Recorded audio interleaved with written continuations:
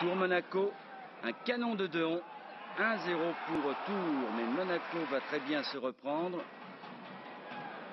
sur cette montée Bellone pour Eric Pécou que l'on retrouve et qui marque euh, le but égalisateur.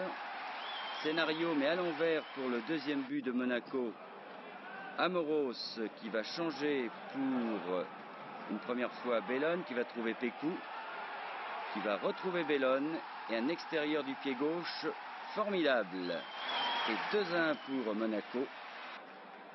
Et une égalisation pour Tours assez curieuse sur cette montée de Lacombe. Perret détourne le ballon et Tori est battu de partout entre Tours et Monaco.